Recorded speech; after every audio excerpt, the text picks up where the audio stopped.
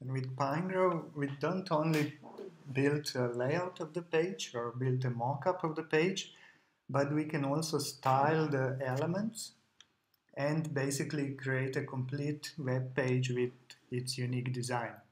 So let, us look again of our Jumbotron, make, let's make it more interesting. So we make it full width. And all the styling is done through CSS rules. So in this case, I will just click on Jumbotron class and I will add a new rule for it and I will use property to change the background the Jumbotron. See there it is.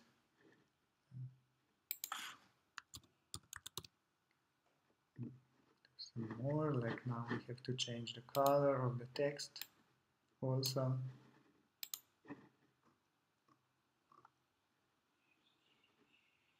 Make it a bit bigger.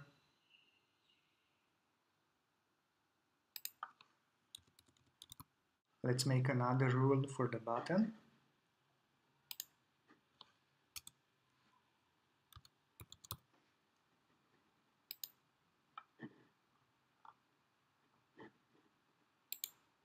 Change the color.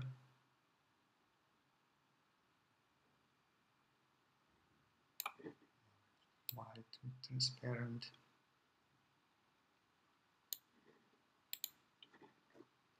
That's a mistake.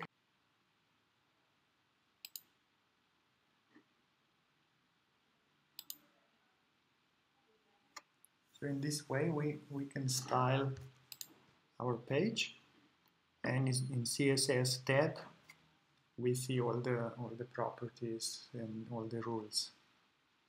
So let's take a look of, of a page we, which is already done and we can see here there are a lot of uh, like CSS rules that basically design the page in a way that we want. And with this uh, with these arrows, we on class on the classes we can assign the class to a currently selected element. here, when we press again, the class gets removed. And just clicking on the element opens its properties. But we can also edit the code clicking on code button brings out the code editor for the selected rule where we, we can basically type any CSS uh, we want